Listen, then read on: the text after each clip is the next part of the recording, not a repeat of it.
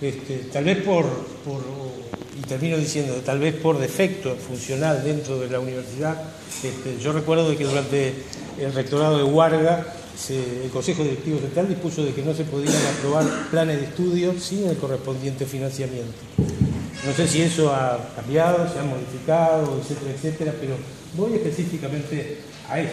Nuestros docentes ya dan una importante porción de su trabajo en forma honoraria.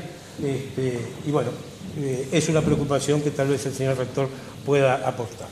En segundo lugar, y para terminar, eh, quería perfilar un poquito más o ahondar un poquito más en la iniciativa presentada a la, a la mesa, la que eventualmente será considerada por el Consejo de la Facultad.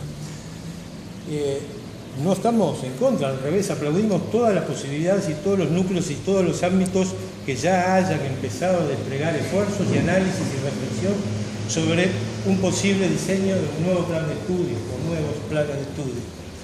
Lo que sí queremos decir de que ganaríamos muchísimo legitimando todo este esfuerzo inicial si iniciamos en lo que nosotros le dimos por llamar, pero es el nombre nada más, coloquio universitario.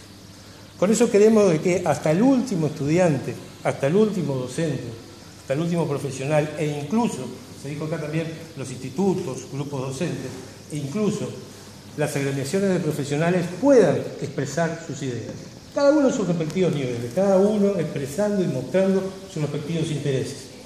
Pero es absolutamente importante dar inicio a un proceso que todos sabemos que vamos a tener diferencias, que todos vamos a tener aportes distintos, darle la legitimidad de que le dimos a este proceso que iniciamos, abrirle las puertas a todos los interesados.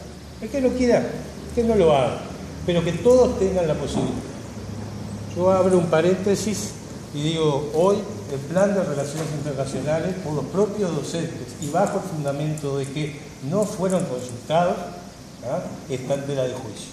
Vamos a evitar eso, aprendamos de nuestros propios errores. No quiero entrar a discutir si fue verdad o no es verdad. Lo que es objetivo es que hay docentes que están diciendo eso.